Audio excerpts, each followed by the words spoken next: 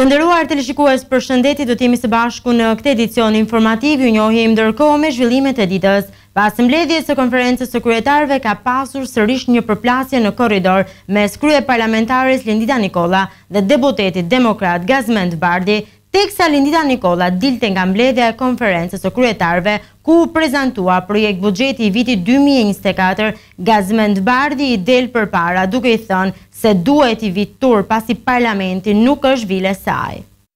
Ndërsa mëngjesin e sotëm pritej të niste në selinë e Kuvendit mbledhja e Konferencës së Kryetarëve, deputetët e opozitës të përjashtuar një ditë më parë për shkak të sjelljes së tyre në seancën e fundit parlamentare, bllokuan nisjen e saj. Ata kanë tentuar të hyjnë me forcë në ambientet e sallës, ku do të mbahej mbledhja në të cilën ministri i Financave Ervin Mete do duhej të prezantonte projektbuxhetin e ri.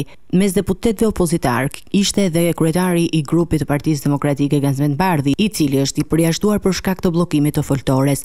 Bardhi pati një debat me tone të larta me kryetaren e Kuvendit Lindita Nikolla, të cilës i ka kërkuar arsyen se përse është përjashtuar, ndërkohë që ka tentuar të hyjë në mbledhje për të diskutuar për projekt buxhetin.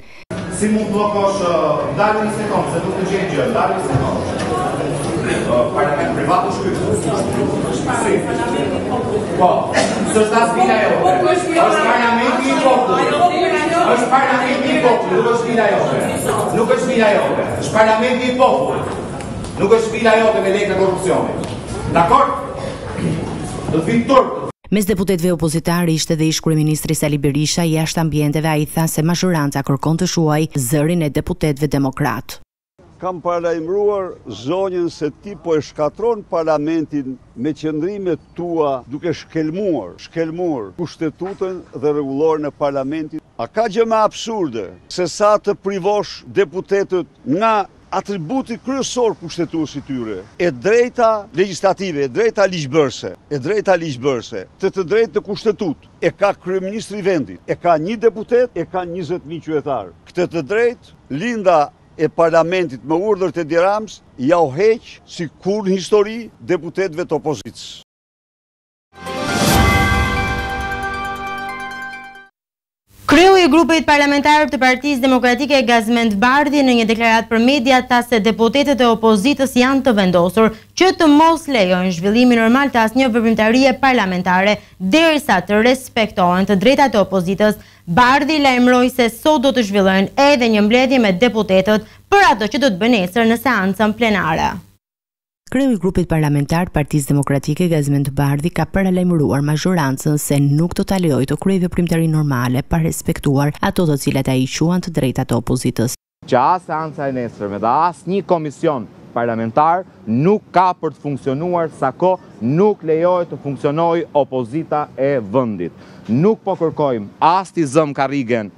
Lindita Nikollës, as t'i zëmë karriket kolegëve të mazhorancës. Po kërkojmë të drejtat tona, po kërkojmë të ushtrojmë mandatin që na kanë dhënë qytetarët e ndershëm të këtij vendi. Bardhi përsëriti edhe një herë tri kërkesat në emër të grupit opozitar, me të cilat kërkon lejimin e ngritjes së komisioneve hetimore, ndryshimin e përbërjes në Komisionin e Reformës Zgjedhore, si dhe kërkon nga kryetarja e Kuvendit që të mos ndërhyjë në çështjet e brendshme të Partisë Demokratike. Opozita e ka shpallur prioritet të punës tonë në këtë sesion parlamentar reformën zgjedhore, për këtë arsye kemi bërë propozimet tona për përbërjen e komisionit të posaçëm parlamentar dhe mazhoranca do duhet të respektojë të drejtën e opozitës, deputetëve të opozitës që të përfaqësohen në komisionin e posaçëm parlamentar me ato kolegë deputetë që ne dëshirojmë të na përfaqësojnë në tryezën e reformës zgjedhore. Dhe së treti, që është çështje ende po themi edhe më shumë flagrante, ka të bëjë me një tallje apo ndërhyrje të vazhdushme që kryetarja e parlamentit me urdhër politik të Edi Ramës bën në punët e brendshme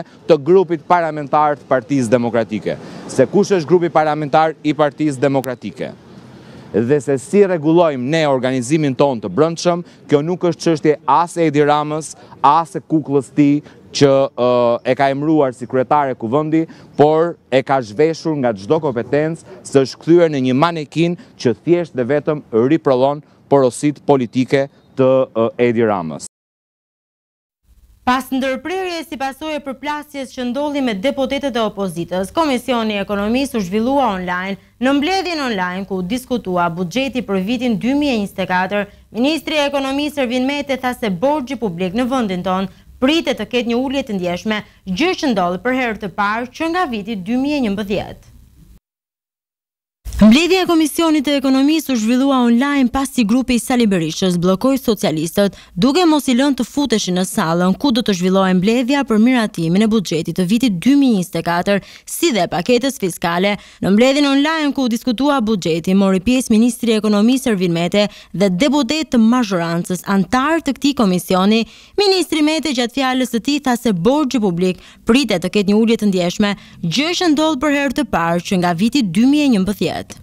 Deficiti buxhetor për vitin dy mijë e njëzet e katër planifikohet në nivelin dy pikë pesë për qind të prodhimit të brendshëm bruto, balanca primare në raport edhe me rregullin e ri fiskal në ligjin organik të buxhetit parashikohet zero pikë dy për qind me një përmirësim nga niveli neutral në fund të vitit dy mijë e njëzet e tre dhe Duke ndjekur këto rregulla fiskal, pritet që të kemi një zbritje të borxhit në vitin e ardhshëm nën nivelin 60%, çka ndodh për herë të parë që prej vitit 2011. Kjo na pozicionon ne në vendin në grupin e vendeve me financa publike më të forta.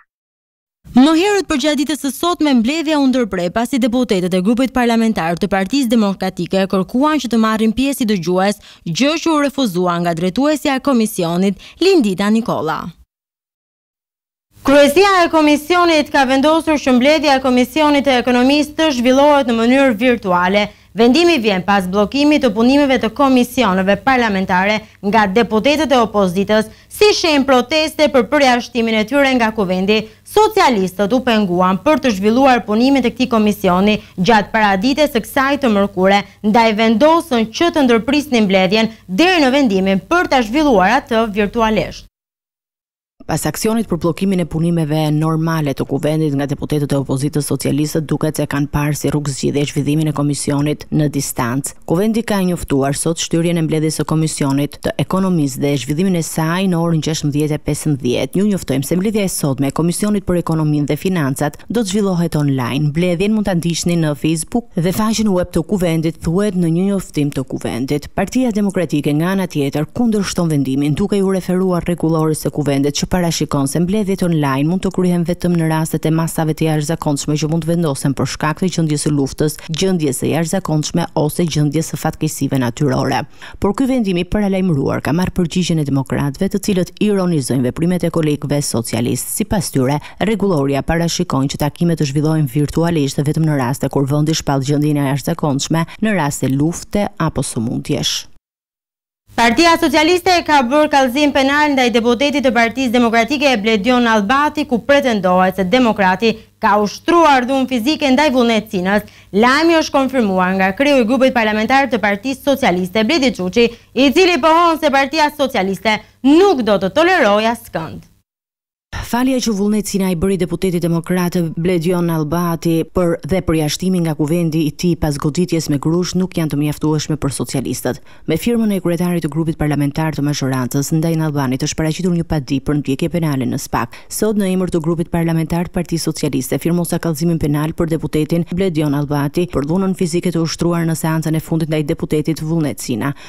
Qëndrimi ynë është i qartë, nuk do tolerojmë asnjë akt dhune dhe refuzojmë këdo që e konsideron dhunën si mundësi për të shprehur mospajtimin. Ftojmë organet ligjzbatuese të bëjnë punën e tyre dhe t'i shkojnë deri në fund ngjarjes së tridhjetë tetorit në Parlament, shkruan Çuçi.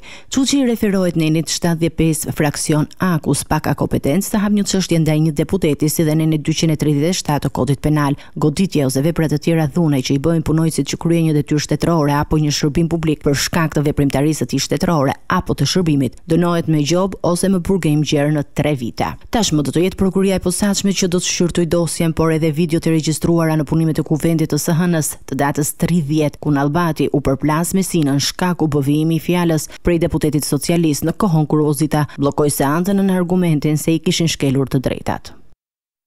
Drejtuesit e lartë të policisë që janë të përfshirë në korrupsion apo të lidhur me bandat kriminale nuk do t'i shpëtojnë drejtësisë. Ky ishte paralajmërimi i ministrit të Brendshëm Taulant Balla për kupolën e policisë. Ai nënvizoi se së shpejti hetimet e SPAK, Shërbimit Informativ, dhe të vetë policisë, do të japin rezultate konkrete. Ministri i Brendshëm Taulant Balla paralajmëroi se kushdo që ngre dorën ndaj shtetit nuk do t'i shpëtojë drejtësisë, ndërsa theksoi se drejtuesit e lartë të policisë që janë të përfshirë në korrupsion apo të lidhur me bandat kriminale do të përballen me ligjin. Procesi i vetëpastrimit të Policisë së Shtetit duhet dhe do të intensifikohet. Rritja e performancës së policisë lidhet në mënyrë të pandashme me këtë proces vetëpastrimi. i cili tashmë ka hyrë në një fazë të re, për të çrrënjosur një herë e përgjithmonë nga trupa e shëndoshë e Policisë së Shtetit elementët e dëmshëm të inkriminuar apo shkelës të etikës, të cilët njollosin punën e palodhur të mijëra uniformave blu që shërbejnë me vendosmëri të palëkundur në interes dhe në shërbim të shtetit, të së drejtës dhe në mbrojtje të qytetarëve të këtij vendi. Hetimet, në bashkëpunim me SPAK, prokuroritë e Juridiksionit të Përgjithshëm, në bashkëpunim me SHISH dhe me agjencitë e tjera ligjzbatuese, për punonjës të nivelit të lartë në hierarkinë e Policisë së Shtetit, të dyshuar për shpërdorim detyre e korrupsion, vepra penale në fushën e narkotikëve, veprime arbitrare, lidhje e komunikime me krimin, si dhe çdo veprim tjetër të paligjshëm, vijojnë dhe rezultatet e këtij procesi do të jenë domethënëse. Balla shtoi se deri në fund të vitit pritet që Shqipëria të regjistrojë shifrën prej dhjetë milionë turistësh. Lajmi më i bukur i këtij viti e që lidhet me sezonin turistik nuk ishte vetëm shifra apo nuk është vetëm shifra prej 10 milion plus që presim të kemi deri më 31 dhjetor të këtij viti.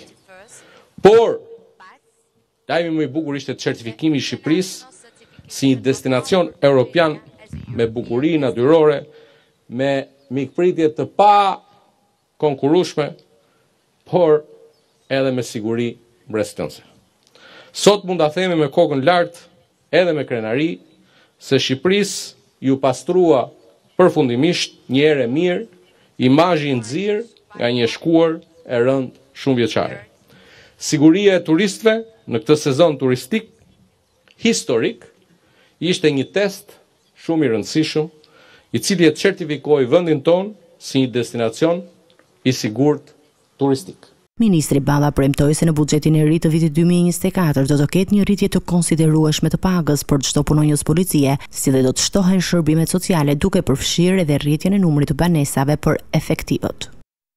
Në Gjykatën e Tiranës u zhvillua sot seanca gjyqësore për njohjen e ndryshimeve të statutit të Lulzim Bashës më dy shtator. Në sallën e gjyqit përfaqësuesi ligjor i grupimit të Bashës, Indrit Sefa, kërkoi dokumentacionin e paraqitur në këtë gjykim nga pala e legjitimuar. Nga ana tjetër përfaqësuesi ligjor i grupimit të Gazment Bardhit, Marash Logu, tha se Këshilli Kombëtar ka kërkuar të mos legjitimohet në krye të Partisë Demokratike, Lulzim Basha.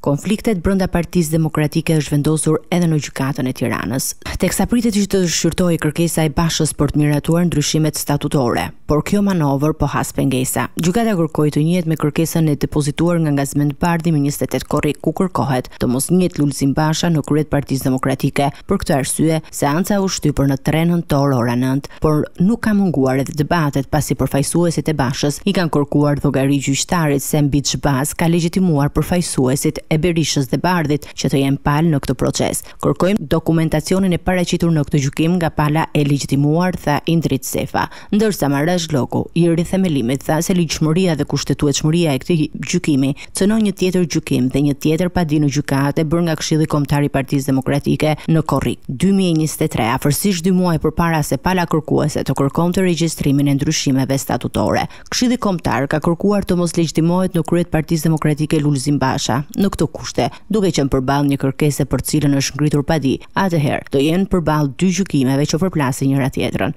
Ndërkohë që në gjykatën e Tiranës zhvillohet seanca, në gjykatën e lartë ndodhet për shqyrtim rekursi i grupit të Sali Berishës për vendimin e 3 marsit të gjykatës së apelit. Procesi gjyqësor u shty për me datën 3 nëntor. Vijojmë me informacione nga ekonomia, publikohet projektbuxheti i plotë për vitin dy mijë e njëzet e katër. Në dispozicion për vitin e ardhshëm do të jenë shtatëqind e tridhjetë e pesë pikë nëntë miliardë lekë, Ministria e Financave thotë se me këtë projektbuxhet mbështeten sektorët prioritarë si arsimi, shëndetësia, mbrojtja sociale, bujqësia, energjia dhe infrastruktura. Në total, investimet për vitin që vjen kapin shifrën e një pikë dy miliardë euro. Në total, qeveria shqiptare planifikon të shpenzojë afro treqind e shtatëdhjetë e nëntë miliardë lekë vitin e ardhshëm ose shtatë miliardë euro nga të cilat gjashtëqind e shtatëdhjetë e katër pikë shtatë ose gjashtë pikë katër miliardë lekë Do të merren nga taksat dhe tatimet. Pjesa tjetër e financimit, gjashtëdhjetë e një pikë dy miliardë lekë ose gjashtëqind milionë euro do të merret borxh. Në konferencën e kryetarëve projektbuxheti u prezantua nga ministri i Ekonomisë dhe Financave Ervin Mete. Sa i përket perspektivës ekonomike, në skenarin tonë bazë për vitin e ardhshëm parashikojmë një rritje ekonomike prej tre pikë tetë për qind, ndërsa parashikojmë një rritje mesatare vjetore për rreth katër për qind për periudhën afatmesme në vijim. Gjithashtu, një pasqyrë e politikave ekonomike, menaxhimit të kujdesshëm fiskal dhe përpjekjeve pozitive në zbatimin e reformave strukturore. Siç jeni në dijeni, së fundmi morëm dhe lajmin e mirë të daljes së Shqipërisë nga lista gri e FATF Moneyval, vendim i cili vjen si pasojë e progresit të shënuar nga vendi ynë në zbatimin e rekomandimeve. Ky është një vendim me një sërë ndikimesh pozitive, qoftë në aspektin reputacional, ashtu edhe sa i përket perspektivës së zhvillimit ekonomik, klimës së biznesit, investimeve, si edhe lehtësimit të kostove të transaksioneve financiare në sistemin bankar dhe jashtë vendit. Është një lajm inkurajues dhe motivues për ne për të vazhduar më tej forcimin e luftës kundër pastrimit të parave dhe financimit të terrorizmit, si dhe për të përmbushur në vazhdim angazhimet e ndërmarra me partnerët ndërkombëtarë. Ndërkohë, sektori financiar mbetet i mirëkapitalizuar dhe likuid për të mbështetur kreditimin dhe rritjen e mëtejshme ekonomike. Sa i takon inflacionit, ai ka qëndruar në nivele më të ulëta se vendet e rajonit dhe se mesatarja e vendeve të BE-së dhe aktualisht në muajin shtator 2023, inflacioni ka zbritur në nivelin katër pikë një për qind i përgjysmuar krahasuar me një vit më parë. Të ardhurat buxhetore në raport me prodhimin e brendshëm bruto për periudhën 2024-2026 parashikohen të rriten në vlerën mesatare prej 27.8% të prodhimit të brendshëm bruto nga 27% që ka rezultuar përgjatë periudhës 2019-2022. Mbajtja e administratës në total do t'i kushtojë taksapaguesve njëqind e tetëdhjetë e gjashtë pikë dy miliardë lekë ose njëqind e shtatëdhjetë e shtatë miliardë euro nga të cilat afro njëqind e njëzet milionë lekë ose një pikë një miliardë euro do të jepen për pagat e çdo punonjësi shtetëror. Projektbuxheti vijon mbështetjen për një rritje domethënëse të pagave duke bërë të mundur që brenda vitit 2024 të realizohet objektivi i vendosur për të arritur një nivel page mesatare prej nëntëqind euro në muaj.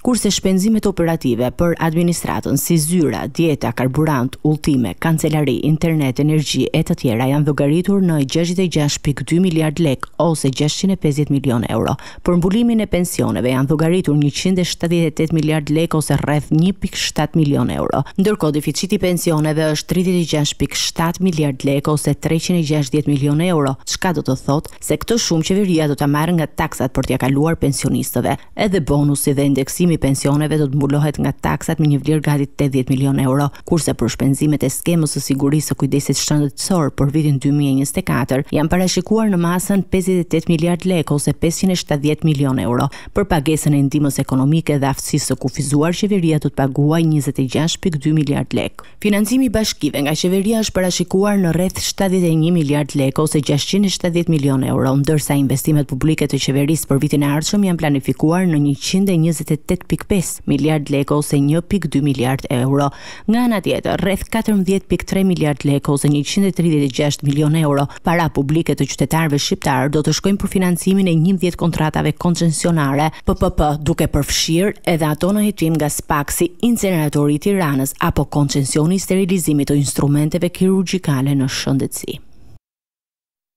Për të shtuar numrin e bagëtive në vend, qeveria ka vendosur të heqë pagesën e TVSH-së në import, kur blihen kafshë të gjalla nga jashtë. Ky ndryshim, që është pjesë e paketës fiskale, ndërmerret në kushtet e krizës që ka përfshirë sektorin blegtor, pasi numri i krerëve është ulur ndjeshëm.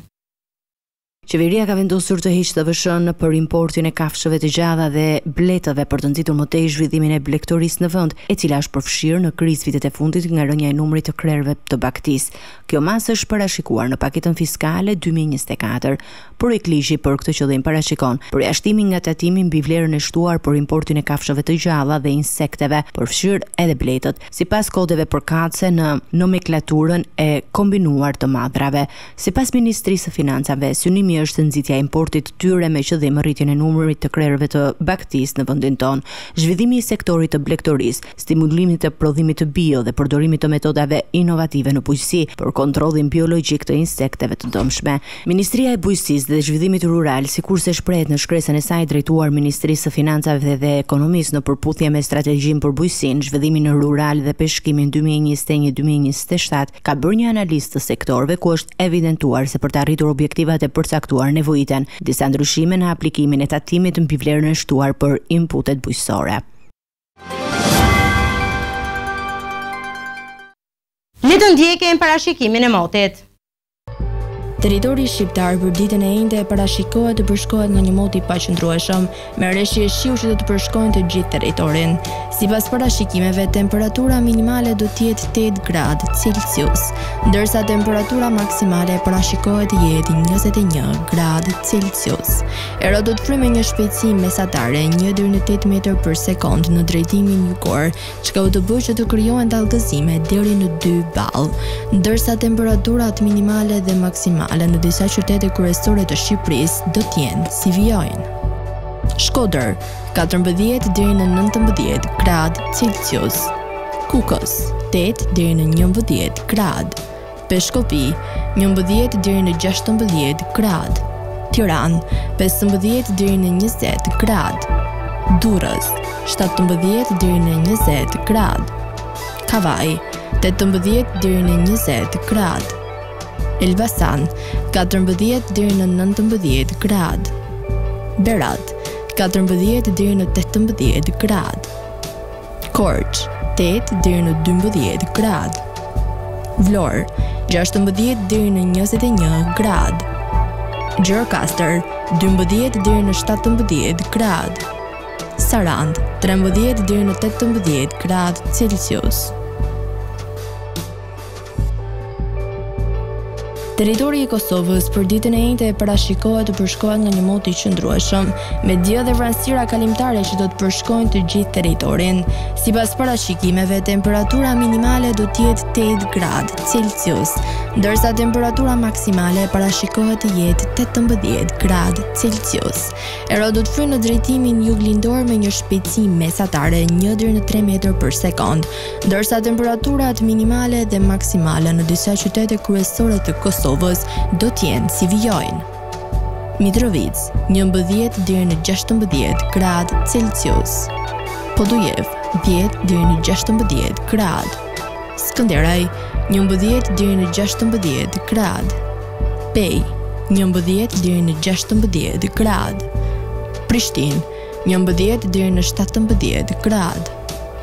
Gjakovë, dymbëdhjetë deri në tetëmbëdhjetë gradë.